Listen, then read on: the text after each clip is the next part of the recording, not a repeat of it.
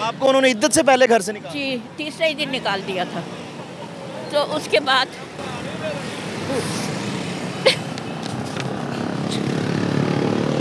अट्ठारह जून 2024 को जो है वो मेरे हस्बैंड की डेथ हो गई थी।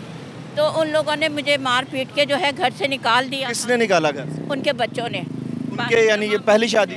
जी पहले पाँच बच्चे हैं उनके। मुझे मार पीट के निकाल दिया घर से तो मैं इज़्ज़त करने के लिए कराची चली गई। मैंने कहा ये मकान मेरा हैगा। उन्होंने जो है मुझे मारा पीटा काफ़ी। उन्होंने आप पे तशद भी किया आप उनकी वालदा लगती है ना आप उनकी माँ लगती है अपनी माँ पे उन्होंने जी माँ पे तशद किया और जो वो किराए पे उसने मेरे बेटे ने जो है सौतेला बेटा उसने घर किराए पे दे दिया था। लेकिन उनके पास कोई ऐसा मकान का प्रूफ ना होने के बावजूद वो घर के मालिक बने बैठे हुए हैं जबकि मेरी बहन के पास ओरिजिनल तमाम डॉक्यूमेंट्स मौजूद होने के बावजूद हम लोग जो रोड के ऊपर और मज़ारात पे जो बड़ा मुश्किल वक्त काट रहे हैं। अल्लाह हमारा शायद हमारी कोई मदद नहीं कर रहा। हम बहुत परेशान हैं और बाप इख्तियार से हमारी दुआएँ गिरती जाए कि हमारे को फौरी कब्जा दिलाया जाए और हमारी बहन को इंसाफ फराम किया जाए। गढ़ी शाहू के साढ़े तीन मरले के एक मकान में रहने वाली खातून का खावंद फौत हो जाता है और चंद ही दिन बाद उसके अपने बच्चे इद्दत भी पूरी करने नहीं देते और उस खातून को घर से निकाल बाहर करते हैं। आज वो खातून दर बदर की ठोकरें खाने पे मजबूर है। उसका कोई मौजूद नहीं है लाहौर के अंदर क्योंकि वो कराची की रहने वाली थी और ब्याह के लाहौर आई थी। आज वो यहाँ सड़क पर खड़ी इकतदार के ऐवानों में बैठे हुए लोगों से इल्तजा कर रही है।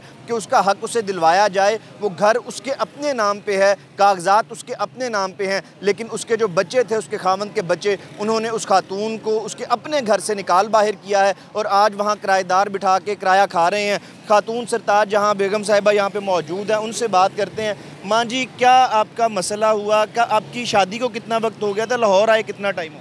सर, मेरी शादी जो है वो 2016 में हुई थी और मेरा जो है यानी कि आठ साल मेरा जो रिलेशन मेरे हस्बैंड के साथ दस साल रहा। आठ साल हो गए मुझे ये मकान लिए हुए। तो मकान आपके नाम पे है? जी ये शुरू से मेरे नाम पे है रजिस्ट्री मेरे नाम पे है सर और दूसरी बात यह है कि 18 जून 2024 को जो है वो मेरे हस्बैंड की डेथ हो गई थी। तो उन लोगों ने मुझे मार पीट के जो है घर से निकाल दिया किसने निकाला घर? उनके बच्चों ने। उनके यानी ये पहली शादी? जी पहले पाँच बच्चे हैं उनके। मुझे मार पीट के निकाल दिया घर से तो मैं इद्दत करने के लिए कराची चली गई। आपको उन्होंने इद्दत से पहले घर से निकाला जी तीसरे ही दिन निकाल दिया था। तो उसके बाद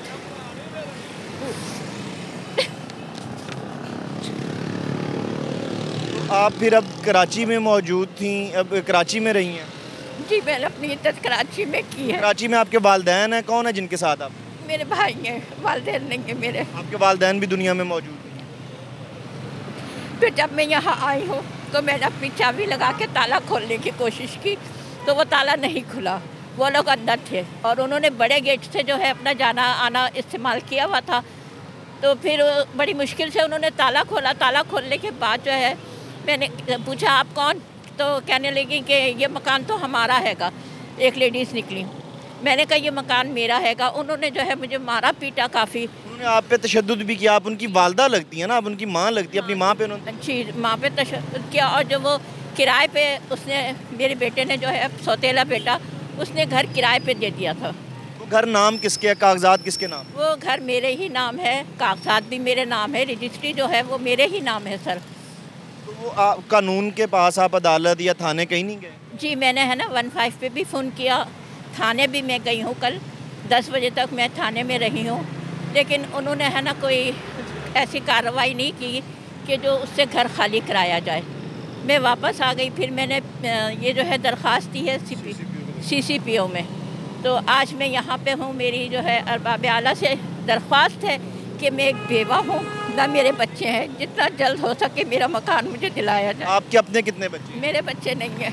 हमारे साथ जो खातून हैं, उनके भाई भी मौजूद हैं। कराची से वो यहाँ पे आए हुए हैं, इनके मसले की वजह से। उनसे भी बात कर लेते हैं। सर, आपको कब पता चला इस मसले का? अचानक आपके जो बहनोई थे, वो फौत हो जाते हैं और आपकी बहन आपके पर तीसरे दिन ही उनको भेज दिया जाता है। तो क्या मामला, क्या मसला बना है?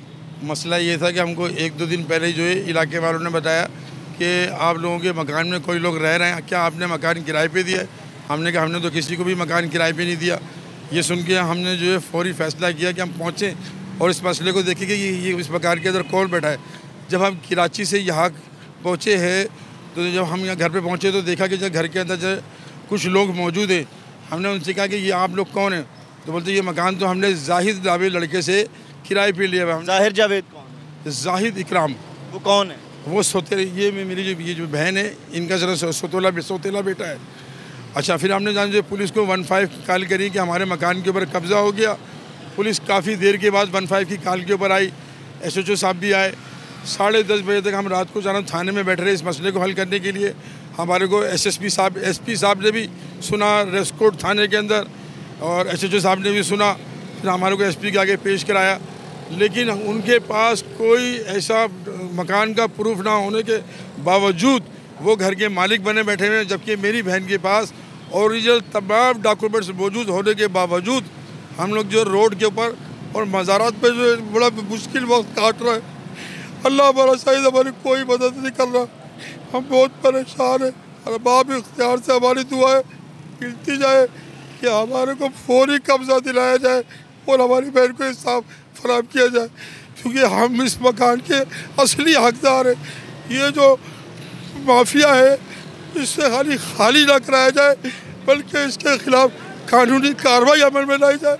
आज इस बेवा के साथ हुआ है कल किसी भी पाकिस्तानी के साथ हो सकता है उनको छोड़ा ना जाए।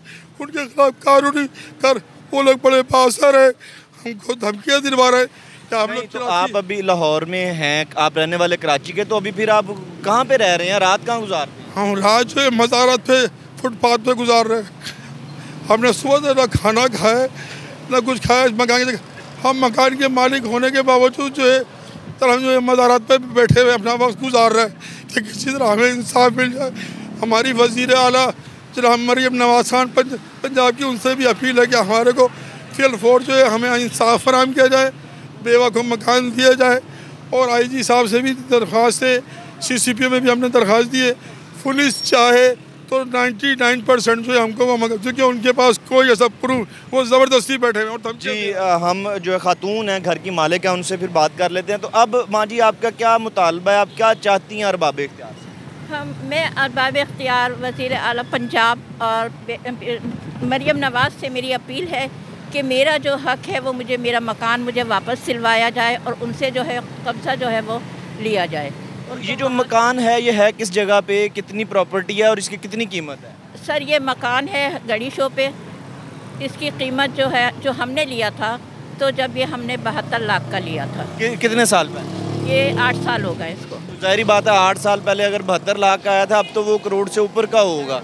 डेढ़ करोड़ तक एक साठ तक है ये मकान। अब आप एक करोड़ रुपए से ज़्यादा की मालियत की प्रॉपर्टी की मालकन हो के भी आपको जो अपना वक्त है वो सड़क पे कभी मज़ारात पे गुजारना पड़ रहा है। क्योंकि उनका वो बेटा जो है वो गलत है। माफिया में उसका यही काम है कब से करना घर का। बहुत सारे वो धमकी- असर है धमकियाँ दे रहा है मुझ बेवा को। ये तो अभी आए हैं चले जाएँगे कराची। मैं अकेले कैसे रह सकती हूँ? तो मेरा जो है तमाम आला अरबाब से दरख्वास्त करती हूँ मैं, बीबी मरियम नवाज़ से भी, कि मुझे जल्द से जल्द अपने मकान में बिठाया जाए, क्योंकि वो मेरा हक है। वो उसका हक नहीं है, वो नाजायज़ कब्ज़ा करके बैठा हुआ है, किराया खा रहा है उस मकान का। मेरे और जो मेरे घर में चीज़ें थीं, सोना, जेवर, जो भी था, वो सब भी उसने जो है ना निकाला हुआ है। जी, ये हमारे साथ एक फैमिली है। ये कराची से खातून ब्याह के आठ साल पहले लाहौर आई। शादी इनकी यहाँ पे हुई, इनके वालदेन मौजूद नहीं हैं। चंद माह पहले इनके खामन फौत हो जाते हैं और उसके वफात के तीसरे दिन इनके जो सतीले बच्चे हैं, इनको इनके ज़ाती घर से, जो इनके नाम पे था, निकाल बाहर करते हैं।